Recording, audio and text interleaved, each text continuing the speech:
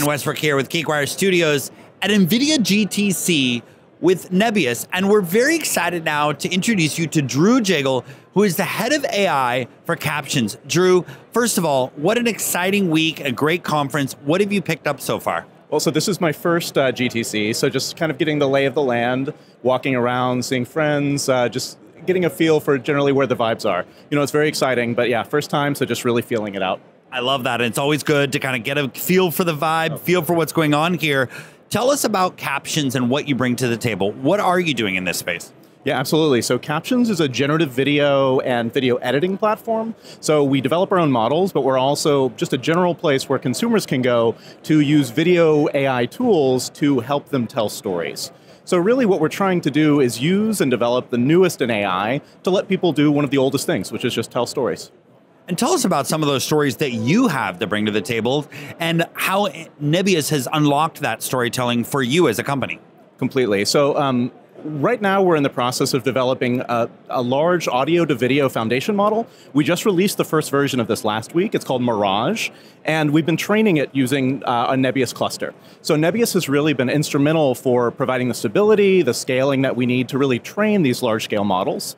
So this is um, it's it's a basically an order of magnitude jump from the previous cluster that we were using, both in terms of the size of the model, in terms of the reliability of the training, and um, really just having that stability, having that ability to rely on Nebius has been really crucial for us as we kind of push the state of the art on what these models can do. So it's made the development journey much easier and allow us to focus on really the big problems that we want to solve, as opposed to kind of the low level debugging and stability issues that we'd found before.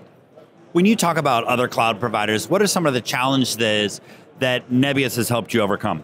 Well, so one of the one of the interesting things about being in the startup space right now is we, you know, we're in a position where we're kind of doing everything from scratch for ourselves, and um, being with Nebius has really provided that a nice sort of cushion of support so that we don't have to worry about all of the low level details. We can sort of uh, bootstrap off of the reliability processes that they have, the sort of the best practices that they have in place to get the really the, um, the cluster working stably. And it's made it easier to kind of focus so that we're solving a thousand problems at the same time. Nebius allows us to solve 999 instead of all of those in the same go. So, do you find that with Nebius you get a level of support and a level of reassurance, kind of a level of scalability that your team can rely on to get things done? Yeah, that's totally been our experience. So um, we, uh, both in terms of their sales team, in terms of their uh, their support that they provide on the technical side of things, they've been very dependable, very proactive in sort of coming at us and providing the, the solutions that we need. So um, as we're thinking about scaling out inference, for example, they have been very flexible in terms of providing us with um, very easy ways to scale up our model and quickly test it in different settings. Talk to us about the specific products you're using at Nebius. What most fits what you need? So we're really focused on large scale training. So um, it, for the last quarter, basically at Captions, especially on the machine learning research team that I lead, we've been really pushing out, like building out all of the infrastructure that we need to train our large scale models. Um, and this is because really, um, so historically Captions has done uh, AI related products in a lot of different ways. So from just cap, so the namesake here is just video captioning. Uh, but um, in the older days, we were taking really whatever off the shelf tools we could, making them as, uh, packaging them and making them as usable as sort of as pretty, as nicely consumer focused as possible. But in the last year, the team has really been focusing on large scale model development internally.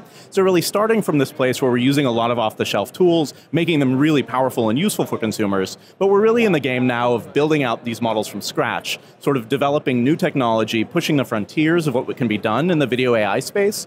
And when we get to this point, it's really, really critical that we have large scale uh, training infrastructure that we can rely on, that we can use on to iterate on the experiments that we're running, and that we can have uh, sort of uh, multi thousands of GPUs dedicated to a single training run, and we know that we can trust it. So when the inevitable failures happen, we, uh, we can rely on Nebius to sort of help us pick up the pieces and recover from that as seamlessly as possible. And this is really crucial, you know, as we're spending, basically the capital outlay here is large enough that we really need to make sure we have as much uptime as possible.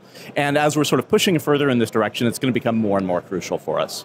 And let's talk about the next generation. Let's talk about new technologies that you mentioned. Yeah. What are you excited to work on in the future? You're kind of doing your own models, but also what products will that unlock for your customers? No, completely. So it's a great question.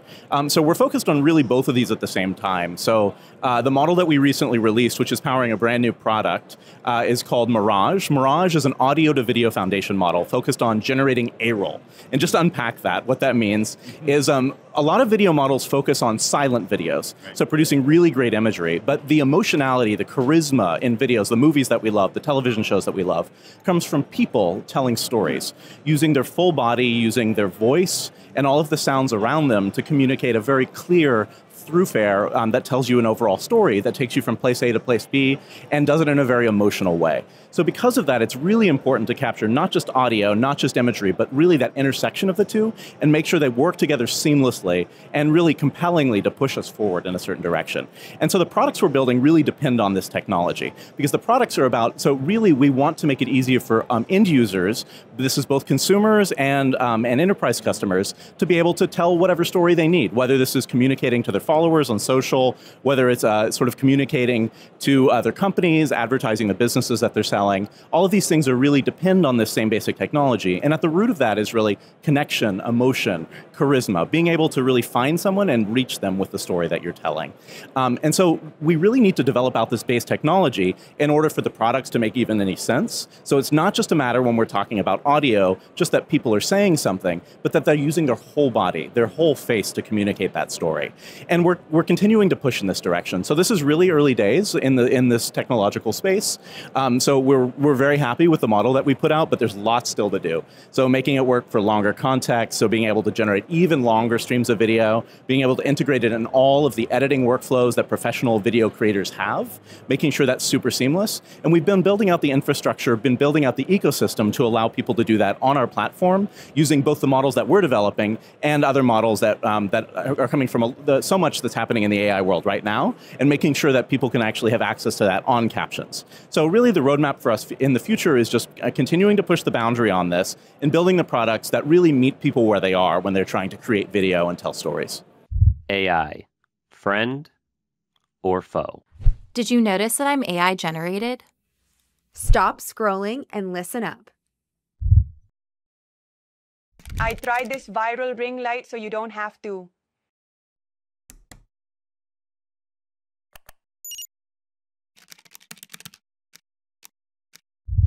I tried this viral ring light so you don't have to. I tried this viral ring light so you don't have to. I tried this viral ring light so you don't have to. Guys, these under eye patches changed my life. This is about to blow your mind. Stop wasting your money on the wrong supplement. The era of lip syncing is over. What is one thing that you would tell the Nebius team about your experience using? Uh, so it's just simplified our lives to have a partner that we can really rely on. To know that um, if things crash in the middle of our in the middle of night, so for our team, so we're we're a, we're a team that's based solely in New York, so we're time zone restricted in that way, and just having a team that really um, around the clock is there and make sure that when whenever we have a crash, they're there to quickly recover for it. Whenever we have some technical um, questions, something we need to expand to, they'll be able to to fill in the gaps. Um, that's been a huge uh, a huge relief for us. It is super important to have great storytellers to be able to put that all together and to share out the story and to build the company. Thank you so much for joining us. Drew Jaegle is the head of AI at Captions. I'm Brian Westbrook, GeekWire Studios. Thanks for watching.